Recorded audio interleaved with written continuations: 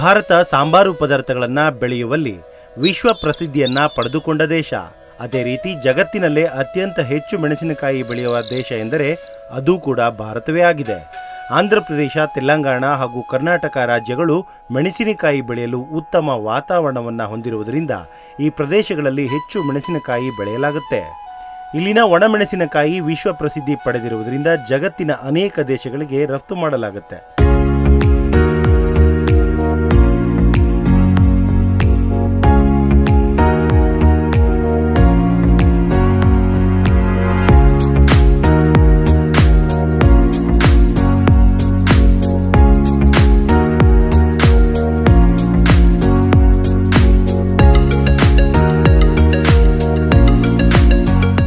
ಬಳ್ಳಾರಿ ಮತ್ತು ಆಂಧ್ರಪ್ರದೇಶದ ಗಡಿ ಭಾಗದ ರೈತರುಗಳು ಪಾರಂಪರಿಕವಾಗಿ ಮೆಣಸಿನಕಾಯಿ ಬೆಳೆಯನ್ನ ಬೆಳೆದುಕೊಂಡು ಬಂದಿದ್ದಾರೆ ಹೆಚ್ಚು ರೋಗ ನಿರೋಧಕ ಶಕ್ತಿಯನ್ನು ಹೊಂದಿರುವ ಬಂಗಾರಂ ಹೆಸರಿನ ಮೆಣಸಿನಕಾಯಿ ಬೆಳೆದು ಉತ್ತಮ ಇಳುವರಿ ಮತ್ತು ಲಾಭ ಪಡೆದ ಕೆಲವು ರೈತರು ಅನುಭವಗಳನ್ನು ನಿಮ್ಮೊಂದಿಗೆ ಹಂಚಿಕೊಳ್ಳಲಿದ್ದಾರೆ ಗ್ರೋತು ಬ್ರಾಂಚಸ್ಸು ಕ್ವಾಲಿಟಿ ಸೈಜು ಎಲ್ಲದೂ ಚೆನ್ನಾಗಿದೆ twenty twenty five quintal average ಮೇಲೆ ನಾವು ಬರ್ಬೋದು ಅಂತೇಳಿ కాయ సైజు బాగుంది తూకం ఎక్కువ వస్తుందని నాకు చూసాము కాయ లోపల ఇత్తనాలు కూడా పగలిది చూస్తే వంద నుంచి నూట పది ఇత్తనాలు ఉన్నాయి అంటే ఎక్కువ ఇత్తనాలు ఉంటే ఆటోమేటిక్గా తూకం ఎక్కువ వస్తుంది కాయలు మ- ఎటువంటి డిసీజ్ లేవు వైరస్ లేదు ಕಲರ್ ಬೇಸ್ ಐತೆ ಮಚ್ಚ ಬಂದಿಲ್ಲ ವೈರ್ಲೆಸ್ ಸಪೋರ್ಟ್ ಇಲ್ಲ ಇವರ ಹೆಸರು ಸತ್ಯನಾರಾಯಣ ರೆಡ್ಡಿ ಮೂಲತಃ ಬಳ್ಳಾರಿ ಜಿಲ್ಲೆ ಬಳ್ಳಾರಿ ತಾಲೂಕಿನ ಸಿದ್ದಮ್ಮನಹಳ್ಳಿ ಗ್ರಾಮದ ಕೃಷಿಕ ಪ್ರತಿ ವರ್ಷ ಸರಿಸುಮಾರು ನಲವತ್ತು ಎಕರೆ ಜಮೀನಿನಲ್ಲಿ ಮೆಣಸಿನಕಾಯಿ ಬೆಳೆಯುತ್ತಾರೆ.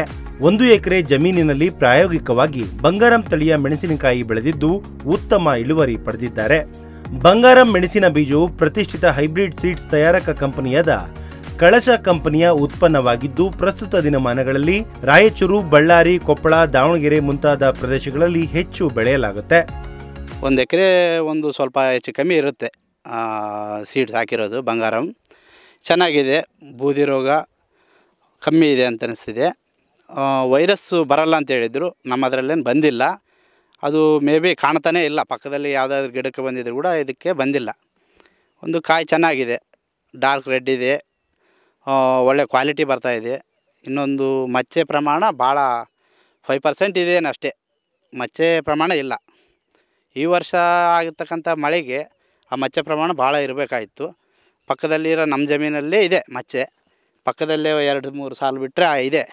ಇದರಲ್ಲಿ ಮಾತ್ರ ಮಚ್ಚೆ ಪ್ರಮಾಣ ಇಲ್ಲ.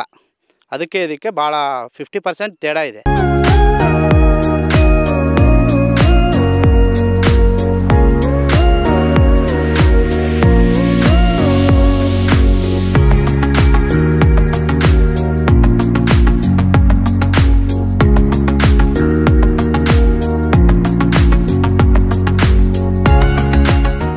ಬಂಗಾರಂ ಮೆಣಸಿನ ಬೀಜ ಇಷ್ಟೊಂದು ಪ್ರಸಿದ್ಧಿ ಪಡೆಯಲು ಕಾರಣ, ಇದರ ಬಗ್ಗೆ ರೈತರಿಗೆ ಬಂದಿರುವ ನಂಬಿಕೆ.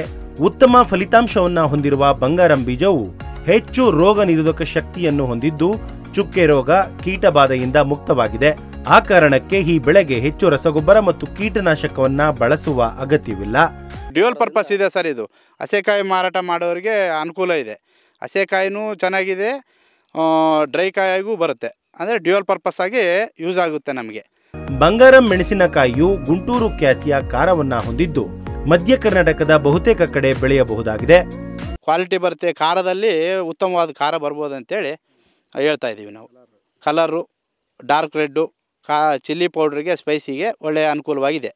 ಪಕ್ಕದಲ್ಲಿರೋ ರೈತರು ಕೂಡ ನೋಡಿದ್ದಾರೆ. ಚೆನ್ನಾಗಿದೆ ಅಂತ ಹೇಳ್ತಿದ್ದಾರೆ. ಗ್ರೋತು ಬ್ರಾಂಚಸ್ಸು ಕ್ವಾಲಿಟಿ ಸೈಜು ಎಲ್ಲದೂ ಚೆನ್ನಾಗಿದೆ.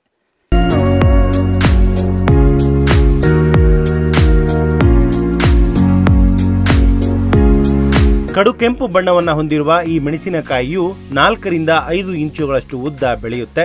ಇನ್ನು ಮೆಣಸಿನಕಾಯಿಯಲ್ಲಿ ಸರಿಸುಮಾರು ನೂರ ಮೂವತ್ತಕ್ಕೂ ಹೆಚ್ಚು ಬೀಜಗಳಿಂದ ಕೂಡಿದ್ದು ಹೆಚ್ಚು ಖಾರವನ್ನ ಹೊಂದಿರುತ್ತದೆ.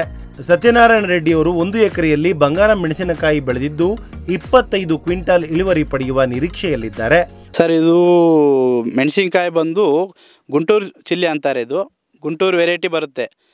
ಗುಂಟೂರು ಮಾರ್ಕೆಟಲ್ಲಿ ಒಳ್ಳೆ ಡಿಮ್ಯಾಂಡ್ ಇದೆ. ನಾವು ಬಳ್ಳಾರಿ ಅಕ್ಕಪಕ್ಕ ಗುಂಟೂರಿಗೆ ಹೋಗಲ್ಲ. ಬ್ಯಾಡಗಿ ಮಾರ್ಕೆಟು ಚಳ್ಳಕೆರೆ ಮಾರ್ಕೆಟಲ್ಲಿ ಒಳ್ಳೆ ರೇಟ್ ಬರ್ಬೋದು. ಒಳ್ಳೆ ರೇಟ್ ಚೆನ್ನಾಗಿರುತ್ತೆ ಡಿಮ್ಯಾಂಡು ಬರುತ್ತೆ ಈ ಸೈಜ್ಗೆ. ಕ್ವಾಲಿಟಿ ಮಾತ್ರ ಬೆಸ್ಟ್ ಆಗಿದೆ.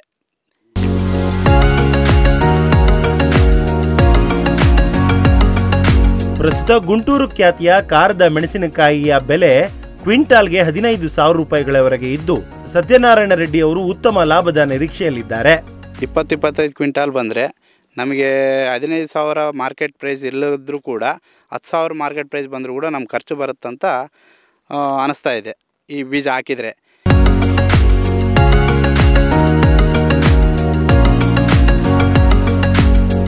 ಸಾಂಪ್ರದಾಯಿಕ ಕೃಷಿ ಪದ್ಧತಿಯನ್ನ ಹೆಚ್ಚು ಅನುಸರಿಸುವ ನಮ್ಮ ರೈತರು ಹೈಬ್ರಿಡ್ ಬೀಜ ಅಂದ್ರೇನೆ ಆತಂಕ ಪಡ್ತಾರೆ ಹಾಗಾಗಿ ನಾವು ಕೂಡ ಬಂಗಾರ ಮೆಣಸಿನಕಾಯಿ ಬೆಳೆದ ಮತ್ತಷ್ಟು ರೈತರ ಅನುಭವವನ್ನ ತಿಳಿಯುವ ಪ್ರಯತ್ನ ಮಾಡಿದ್ವಿ. ಬಳ್ಳಾರಿ ಜಿಲ್ಲೆ ಬಳ್ಳಾರಿ ತಾಲೂಕಿನ ವಿಜಯನಗರ ಕ್ಯಾಂಪ್ನ ಹರಿಬಾಬು ಎಂಬ ರೈತ ಕೂಡ ಎರಡು ಎಕರೆ ಜಮೀನಿನಲ್ಲಿ ಬಂಗಾರ ಮೆಣಸಿನಕಾಯಿ ಬೆಳೆದಿದ್ದಾರೆ ಮೂಲತಃ ಆಂಧ್ರ ಪ್ರದೇಶದ ಪ್ರಕಾಶಂ ಜಿಲ್ಲೆಯವರಾದ ಹರಿಬಾಬು ಕಳೆದ ಮೂವತ್ತು ವರ್ಷಗಳಿಂದಲೂ ಈ ಭಾಗದಲ್ಲಿ కృషి ಮಾಡುತ್ತಿದ್ದಾರೆ ಬನ್ನಿ ಅವರ అనుభవ ಹೇಗಿತ್ತು ಕೇಳಿ ತಿಳಿಯೋಣ ఈ వ్యవసాయంలో మేము మెయిన్ క్రాప్గా పత్తి మిరప మిరప వెరైటీలో రకరకాల కొత్త వంగడాలు వచ్చినాయి ఒక్కొక్క వంగడం ఒక్కొక్క వెరైటీ అంటే రోగ నిరోధక శక్తి ఏ వెరైటీలో ఉంటే ఆ వెరైటీని సెలెక్ట్ చేసుకుంటూ సాగు చేస్తూ ఉన్నాం. ఈ సంవత్సరం కలాస కంపెనీ వారు బంగారం అనే ఒక వెరైటీని రిలీజ్ చేశారు. ఆ కంపెనీ వాళ్ళు నాకు ఒక రెండు వందల గ్రాములు బంగారం ఇచ్చాడు దాన్ని నెట్లో నారు పోసుకొని ఇక్కడ ఒక రెండు ఎకరాలు అందాజుగా సాగు చేశాను. విల్ట్ అంటూ ఏమీ లేదు వైరస్ అంటూ ఏమీ లేదు. కాపు చాలా బాగుంది. కానీ లేట్ అయింది ఈ సంవత్సరం వర్షాలు లేక నీళ్ళు లేక బాగా ఒక నెలన్నర లేటుగా పెట్టినందువల్ల ఇలువరి మేము ఎక్స్పెక్ట్ చేసినంత రాకపోయినా కూడా nearly eighteen to twenty quintals అంటే పద్దెనిమిది నుంచి ఇరవై క్వింటాల్ వరకు వస్తుంది అనేది మాకు అనిపిస్తుంది పొలంలో చూస్తే. నెక్స్ట్ ఇంకోటి ఈ సంవత్సరం ఫంగస్ వల్ల కాయ బాగా డ్యామేజ్ అయింది. మచ్చ రోగం వచ్చేసి కంప్లీట్ కాయ ఫిఫ్టీ పర్సెంట్ డ్యామేజ్ అయినాయి. బట్ ఈ వెరైటీలో మాత్రం జస్ట్ టూ పర్సెంట్ కూడా డ్యామేజ్ లేదు. ఫ్రమ్ కింద నుంచి పై వరకు కూడా కాయ బాగా కలర్ ఉంది మంచి సైజు ఉంది. ఎటువంటి ఇబ్బంది లేదు ఫార్మర్కి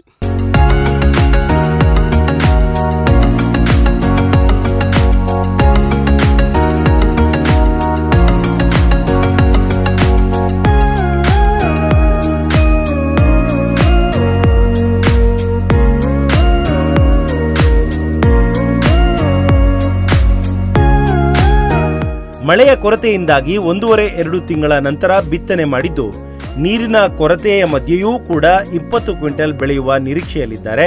ಇತರೆ ತಳಿಯ ಮೆಣಸಿನಕಾಯಿಯನ್ನ ಬೆಳೆದಿರುವ ಇವರು, ಅವುಗಳಿಗೆ ಹೆಚ್ಚು ರೋಗ ತಗಲಿದ್ದು, ಬಂಗಾರಂ ತಳಿಯ ಮೆಣಸಿನಕಾಯಿಗೆ ಯಾವುದೇ ರೋಗ ತಗಲಿಲ್ಲ ಮತ್ತು ಹೆಚ್ಚು ಸಮೃದ್ಧಿಯಿಂದ ಬಂದಿದ್ದು, ಉತ್ತಮ ಬಣ್ಣ ಮತ್ತು ಗಾತ್ರವನ್ನ ಹೊಂದಿದೆ ಎನ್ನುತ್ತಾರೆ. ಈ ಕಾಯಲ್ ಫ್ಯೂಚರ್ ಇದು ಬಂಗಾರ ವೆರೈಟಿ ಕಾಯಲು వీటిల్లో ఎక్కడ కింద ముందు కాసిన కాయలు కింద పడ్డా కూడా ఎక్కడ మచ్చ రోగం అంటూ లేదు. నెక్స్ట్ కాయ సైజు బాగుంది. తూకం ఎక్కువ వస్తుందని నాకు చూసాము కాయ లోపల ఇత్తనాలు కూడా పగలిది చూస్తే వంద నుంచి నూట పది ఇత్తనాలు ఉన్నాయి. అంటే ఎక్కువ ఇత్తనాలు ఉంటే ఆటోమేటిక్గా తూకం ఎక్కువ వస్తుంది. కాయలు ఎటువంటి డిసీజ్ లేవు. వైరస్ లేదు. నెక్స్ట్ విల్ట్ లేదు. అన్ని రకాలుగా అనుకూలంగా ఉంది ಬಳ್ಳಾರಿ ಜಿಲ್ಲೆಯ ಮತ್ತೋರ್ವ ಕೃಷಿಕ ಆಂಜನೇಯಲು ಎಂಬುವವರು ಕೂಡ ಕಳಶ್ ಕಂಪನಿಯ ಬಂಗಾರ ಮೆಣಸಿನಕಾಯಿ ಬೆಳೆದಿದ್ದು ಇನ್ನೇನು ಮಾರುಕಟ್ಟೆಗೆ ಕಳುಹಿಸುವ ಹಂತದಲ್ಲಿದ್ದಾರೆ ಬನ್ನಿ ಅವರ ಅನುಭವ ಹೇಗಿತ್ತು ಕೇಳಿ ತಿಳಿಯೋಣ నా పేరు ఆంజనేయులండి Ballari Moka road Nalanda school opposite మేము పదహైదు ఎకరాలు మిరప వేసామండి ఒక డెబ్బై సెంట్లు దానిలో బంగారం వేసాము ಪರವಾಗಿಲ್ಲ ಇದು ಕಲರ್ ಬೇಸ್ ಐತೆ, ಮಚ್ಚ ಬಂದಿಲ್ಲ ವೈರ್ಲೆಸ್ ಸಪೋರ್ಟ್ ಇಲ್ಲ.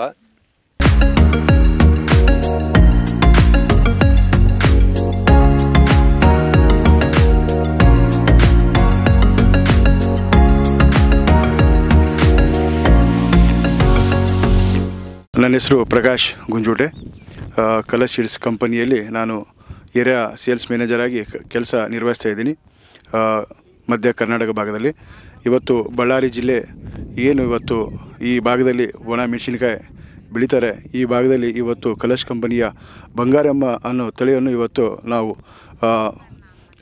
ಬಿಟ್ಟಿದ್ವಿ. ಇದು ಹೋದ ವರ್ಷ ಎರಡು ಸಾವಿರದ ಹದಿನೆಂಟರಲ್ಲಿ ಗುಂಟೂರು ಭಾಗ, ಅಂದರೆ ಆಂಧ್ರ ಪ್ರದೇಶದಲ್ಲಿ ಬಿಡುಗಡೆ ಆಗಿದ್ದು, ಅಲ್ಲಿಂದ ಈ ವರ್ಷ ಏನು ಎರಡು ಸಾವಿರದ ಹತ್ತೊಂಬತ್ತರಲ್ಲಿ ಬಳ್ಳಾರಿ ಜಿಲ್ಲೆಯಲ್ಲಿ ನಾವು ಬೀಜವನ್ನು ವಿತರಣೆ ಮಾಡಿದ್ವಿ. ಕೇವಲ ಮೂರೇ ಕೆ ಜಿ ಬೀಜ. ಇದು ಈ ತಳಿಯನ್ನು ಹಸೆಕಾಯಿ ಮತ್ತು ಒಣಕಾಯಿಗೂ ಎರಡಕ್ಕೂ ಸೀಮಿತವಾಗಿದೆ. ಇದರಲ್ಲಿ ಏನೆಂದರೆ ಇದು ಗುಂಟೂರು ಮಾದರಿಯಲ್ಲಿ ಬರೋಂಥ ತಳಿ. ಈ ತಳಿಯು ಕಾಯಿಯ ಉದ್ದ ಏನಿದೆ ಎಂಟರಿಂದ ಹತ್ತು ಸೆಂಟಿಮೀಟ್ರ್ ಉದ್ದ ಬರುತ್ತೆ. ಮೈಸೂರು ಭಾಗದಲ್ಲಿ ಹಸಿಕಾಯಿಗೂ ಇದನ್ನು ಭಾಳನ ಬಿತ್ತನೆ ಮಾಡಿ ಒಳ್ಳೆಯ ಬೆಳೆ ತೆಗಿತಾ ಇದ್ದಾರೆ. ಹಾಗೂ ಬಳ್ಳಾರಿ ಭಾಗದಲ್ಲಿ ಇವತ್ತೇನಿದೆ, ಉತ್ತರ ಭಾಗದಲ್ಲಿ ಉತ್ತರ ಕರ್ನಾಟಕ ಭಾಗದಲ್ಲಿ ಒಣಕಾಯಿಗೆ ಇದು ಬೆಳೀತಾ ಇದ್ದಾರೆ. ಇದು ರೈತರಿಗೆ ಭಾಳ ಲಾಭದಾಯಕವಾದ ಬೆಳೆಯಾಗಿದ್ದು, ಇದು ಪ್ರತಿ ಎಕರೆಗೆ ಇಪ್ಪತ್ತೈದು ಮೂವತ್ತು ಕ್ವಿಂಟಲ್ ಒಣ ಮೆಣಸಿನಕಾಯಿ ಬರ್ತಾ ಇದೆ. ಹಾಗೂ ಇದು ಈ ಭಾಗದಲ್ಲಿ ಇದು ಅಂತ್ರಕ್ನೋಸಸ್ ಏನಿದೆ, ಈ ವರ್ಷ ಹತ್ತೊಂಬತ್ತರಲ್ಲಿ ವಿಪರೀತ ಮಳೆಯಾಗೋದಕ್ಕಾಗಿ ಅಂತ್ರಕ್ನೋಸಸ್ ಭಾಳ ರೋಗ ಬಂದಿತ್ತು. ಈ ತಳಿಯಲ್ಲಿ ಭಾಳ ಅದರಲ್ಲಿ ತಡೆಗಟ್ಟಿದೆ ಹಾಗೂ ಕಡಿಮೆ ಬಂದಿದೆ. ಹೀಗಾಗಿ ರೈತರು ಭಾಳ ಉತ್ತಮವಾದ ಇಳುವರಿ ಹಾಗೂ ಒಳ್ಳೆಯ ಲಾಭದಾಯಕ ಬೆಳೆಯನ್ನು ಮಾಡಿಕೊಂಡು ಬೆಳೆದಿದ್ದಾರೆ.